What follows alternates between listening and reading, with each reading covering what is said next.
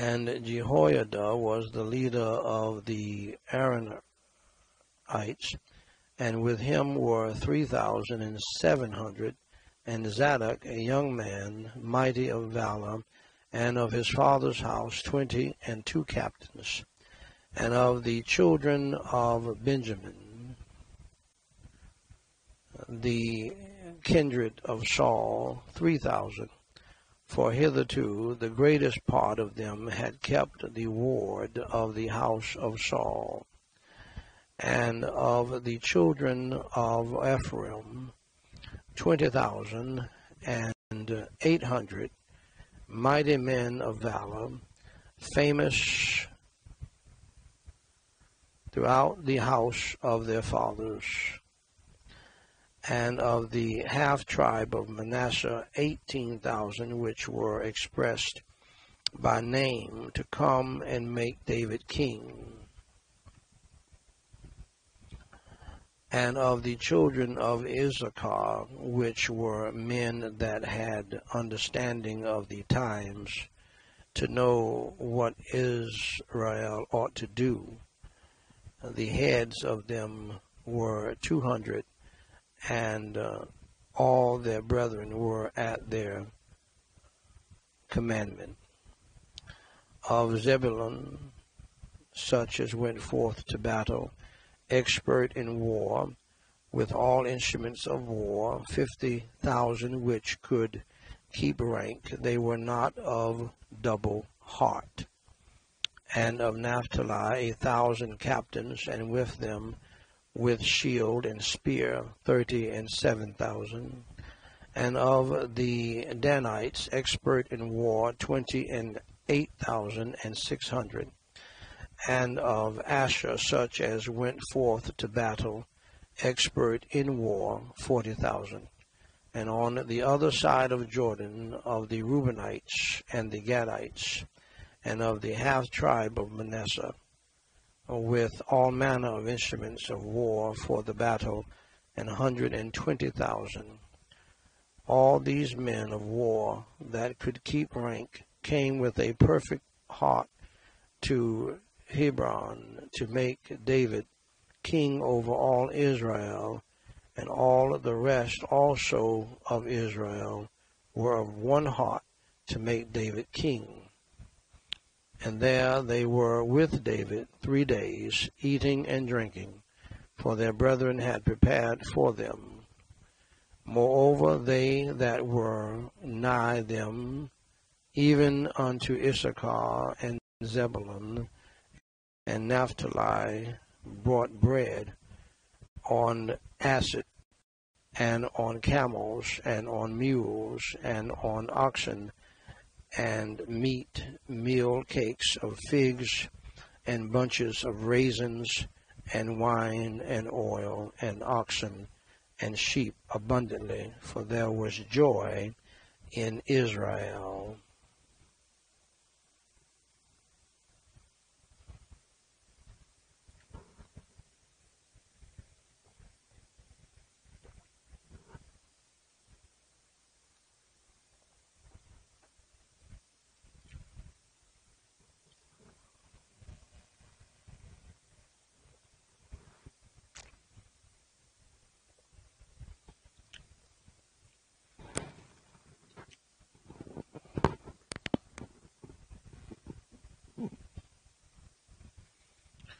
Ladies and gentlemen, brothers and sisters in Christ Jesus,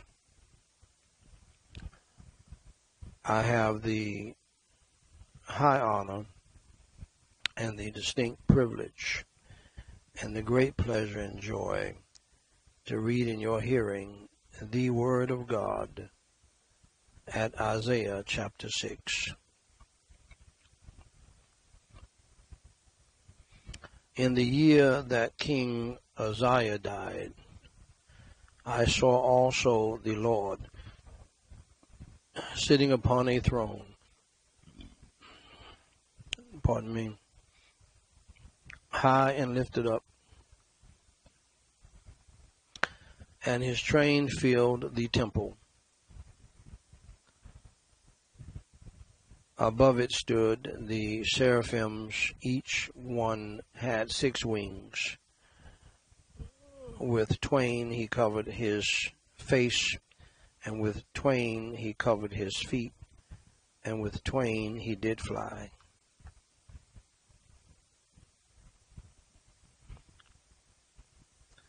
And one cried unto another, and said, Holy, holy, holy is the Lord of hosts.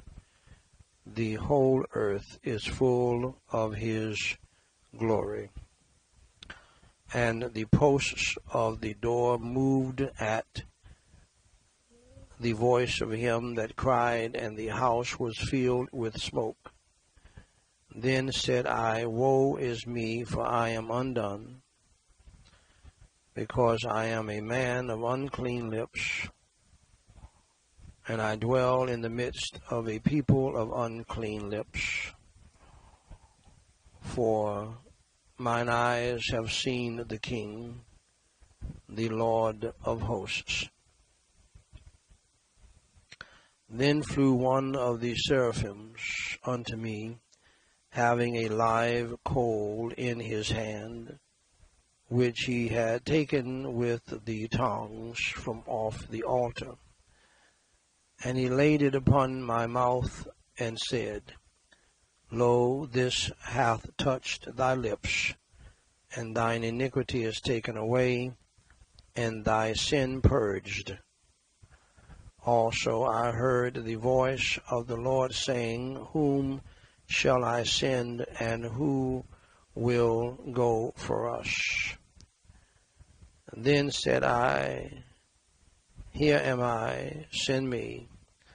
And he said, Go and tell this people, Hear ye indeed, but understand not, and see ye indeed, but perceive not. make the heart of this people fat, and make their ears heavy, and shut their eyes, lest they see with their eyes, and hear with their ears, and understand with their heart, and convert, and be healed. Then said I, Lord, how long? And uh, he answered, Until the cities be wasted without inhabitant, and the houses without man, and the land be utterly desolate. And the Lord have removed men far away, and there be a great forsaking in the midst of the land. But yet in it shall be a tenth, and it shall return and shall be eaten as a teil tree and as an oak whose substance is in them when they cast their leaves. So the holy seed shall be the substance substance thereof.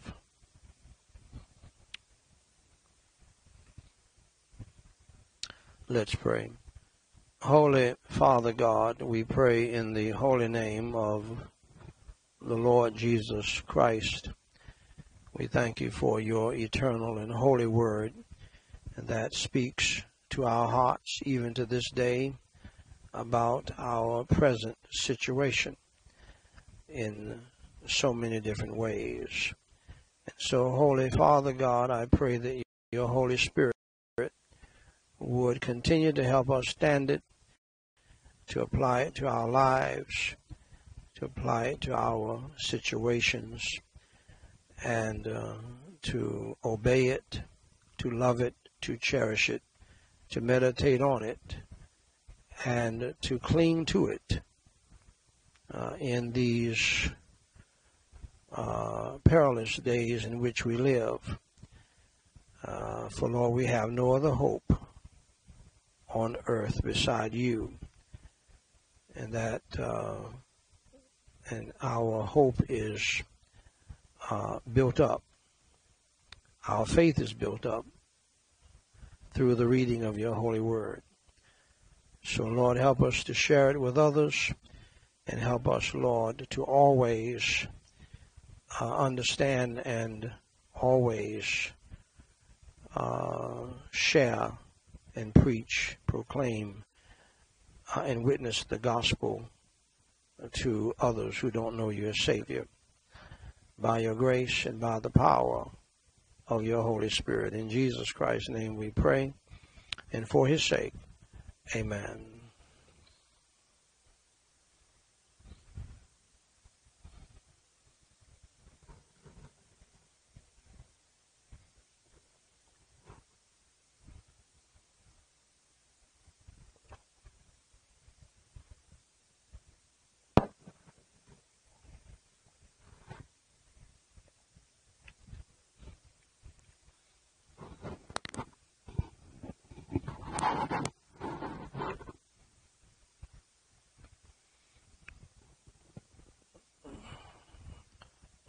Ladies and gentlemen,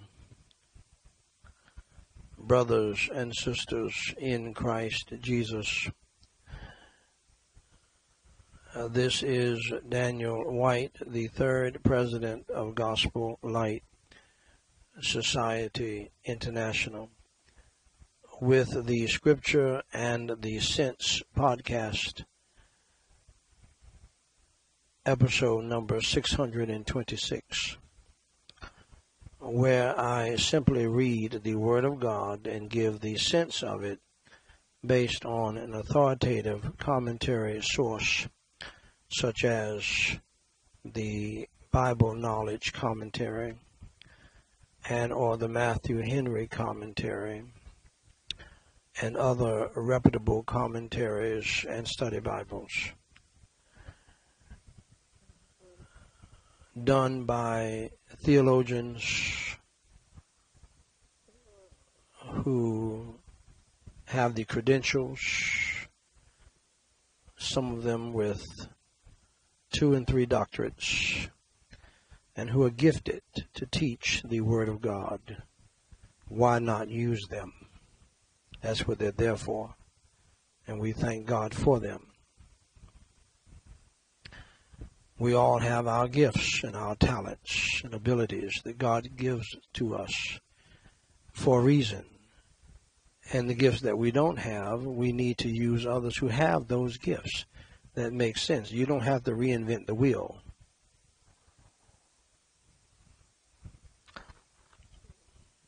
This podcast, beloved, is based upon Nehemiah chapter 8, verse 8 where it says Ezra and the Levites read in the book in the law of God distinctly and gave the sense and caused them to understand the reading. The aim of this podcast is that through the simple reading of the Word of God and the giving of the sense of it, the church uh, would be revived that is my prayer, my humble prayer, is that the church would truly be revived and the world would be awakened and their eyes open uh, to the gospel so that they can be saved from the wrath to come and the eternal burning hell. Uh, through the gospel of the Lord Jesus Christ, which Jesus said in John 3:16, "For God so loved the world that he gave his only begotten Son, that whosoever believeth in him should not perish, uh, that is, perish in hell, but have everlasting life." So may I encourage you right now to believe in Christ and pray a short prayer and ask him to save your soul and to come into your heart and life and to change your life, and He will. Today, ladies and gentlemen, we are reading Micah chapter 7, verse 15. Let's pray. Holy Father God, please have your Holy Spirit to give us that anointing uh, that ability to understand your holy word that comes from you, even as we read it. And then, Lord, help us to apply it to our lives and to obey it. In Jesus Christ's name we pray, and for his sake, amen.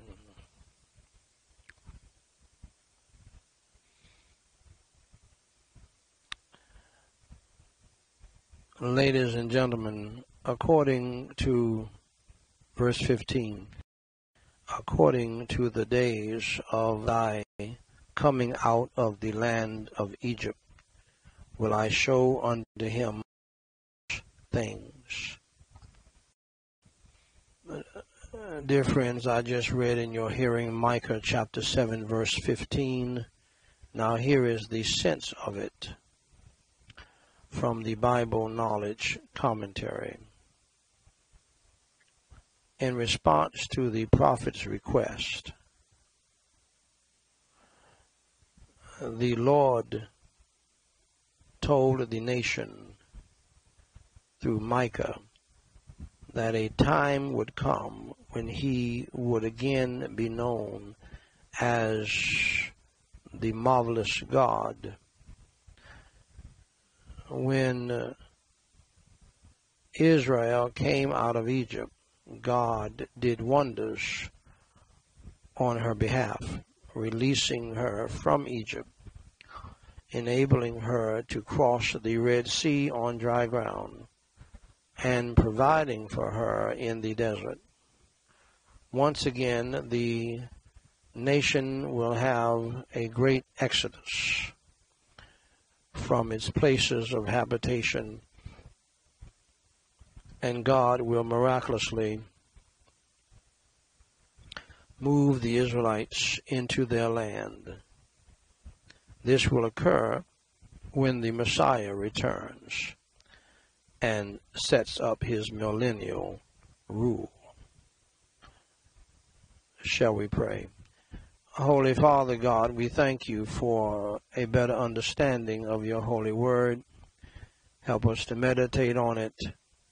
Lord, help us to keep hope alive in your second coming and have the, the fact that you're coming again to purify minds and lives and help everybody to understand that we all will give an account of our our behavior and what we have done down here to you. And everybody will bow the knee one day. In Jesus Christ's name we pray and for his sake. Amen.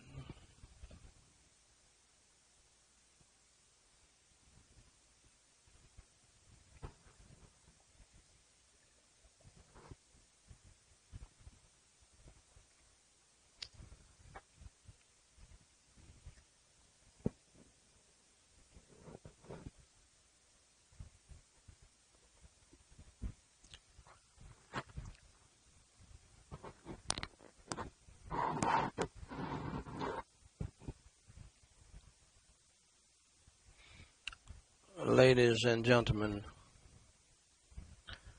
brothers and sisters in Christ Jesus. This is Daniel White III, President of Gospel Light Society International, with the White House Family devotional reading of Charles Haddon Spurgeon's magnificent work, the devotional book titled Morning and Evening. This is the podcast, and this is episode number 236.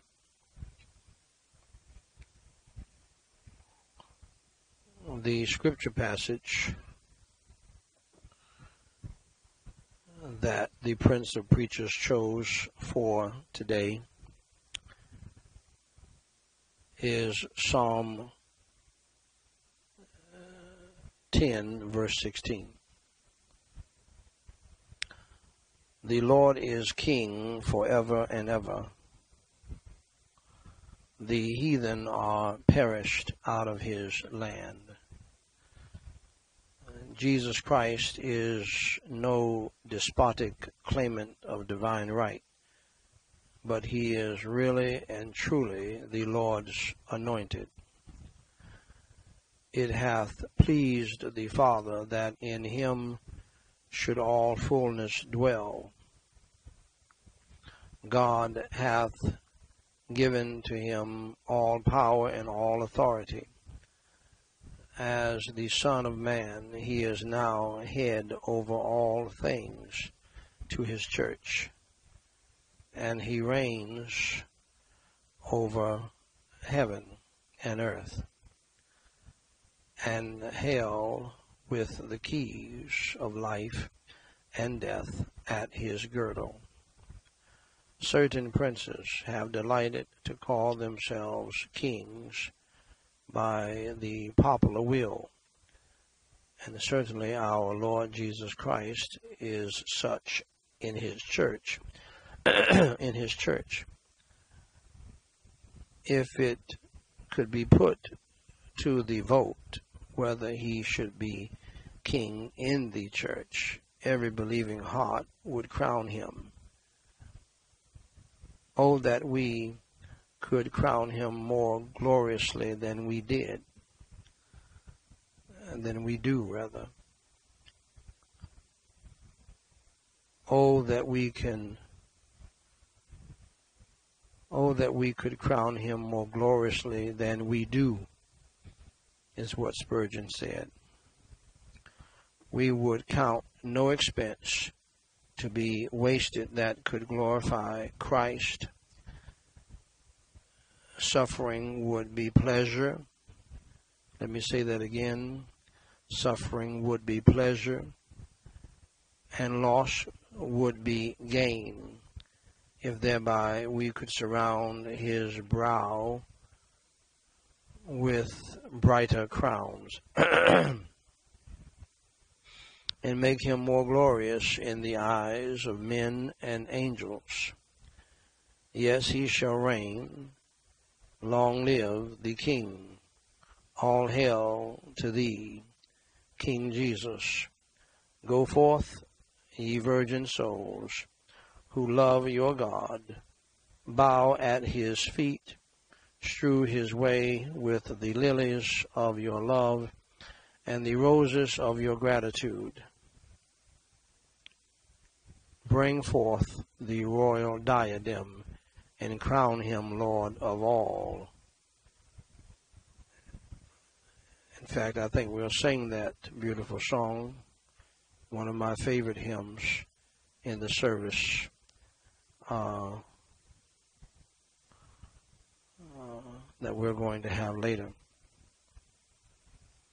Moreover, our Lord Jesus is King in Zion by right of conquest he has taken and carried by storm the hearts of his people, and has slain their enemies, who held them in cruel bondage.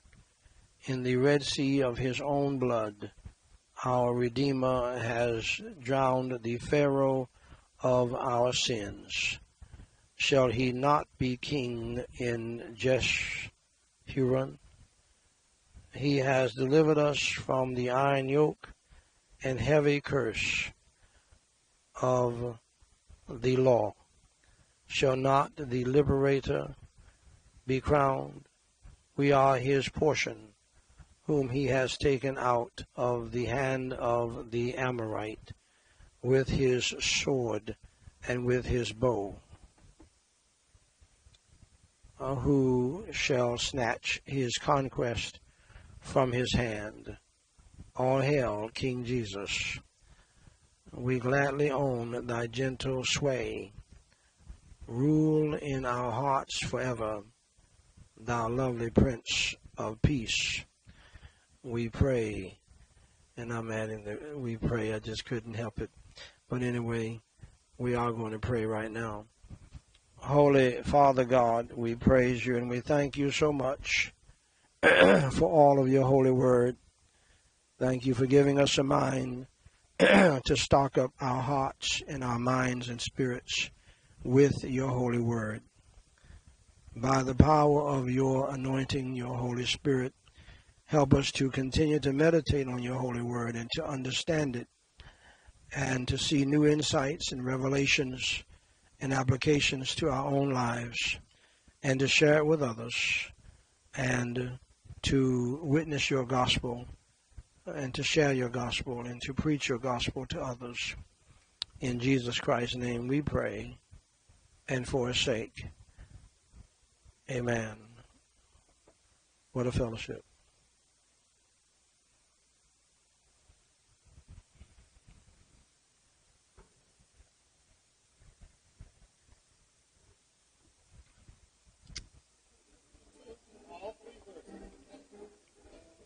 What a fellowship. What a joy divine. what a fellowship. What a joy divine. Leaning on the everlasting arm. Sing it like you mean it. What a blessedness. What a peace is mine. Leaning on the everlasting on, leaning, oh, I'm leaning, safe and secure from all along. Leaning, oh, I'm leaning, leaning on the everlasting on, sing it like you mean it. Oh, how sweet to walk in this pilgrim way, leaning on the everlasting arms. Oh, how right the path grows from the day, leaning on the everlasting. Oh, everybody sing like you mean it. Lean, yes, I'm leaning. I'm leaning, yes, I'm leaning. Safe and secure from all along. I'm leaning, yes, I'm leaning. I'm leaning, yes, I'm leaning. Leaning on the everlasting. Oh, sing it like you mean it. What what have I to fear leaning on the everlasting arms? I have blessed peace with my Lord so near, leaning on the everlasting arms. I'm leaning, yes, I'm leaning. I'm leaning, yes, I'm leaning. Safe and secure from all alarms. I'm leaning, yes, I'm leaning. I'm leaning, yes, I'm leaning. Leaning on the everlasting. One more time. yes, I'm I'm leaning, yes, I'm leaning. I'm leaning, yes, I'm leaning. Safe and secure from all along. Leaning, yes, I'm leaning. I'm leaning, yes, I'm leaning. Leaning on the everlasting arms. I'm leaning, yes, I'm leaning. I'm leaning, yes, I'm leaning. Safe and secure from all along. I'm leaning, yes, I'm leaning. I'm leaning, yes, I'm leaning. Leaning on the everlasting. On Amen.